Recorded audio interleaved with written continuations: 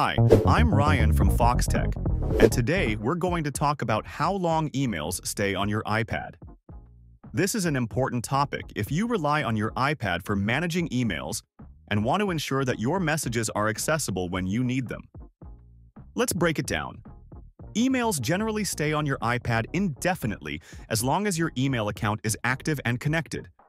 This means that as long as your iPad is linked to your email service and you haven't manually deleted any messages, your emails should remain accessible.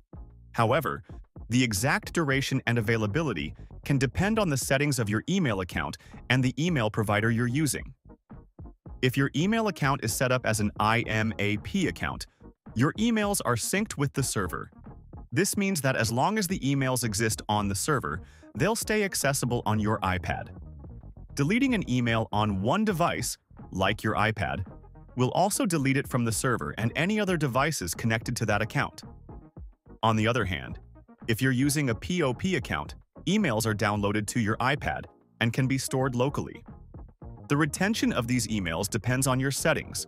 You might have them set to delete from the server after downloading, or they might remain on the server depending on how you've configured your account. It's worth noting that if they're removed from the server, your iPad may be the only place where they're stored, depending on your settings. Additionally, the storage settings on your iPad and the amount of available space can influence how many emails are stored locally. If your iPad is running low on storage, it may prioritize more recent emails, or you might need to manage your storage to ensure that older emails remain accessible. To manage how long emails stay on your iPad, you can adjust the email retention settings directly in the Mail app. Simply go to Settings, then Mail, and select Accounts.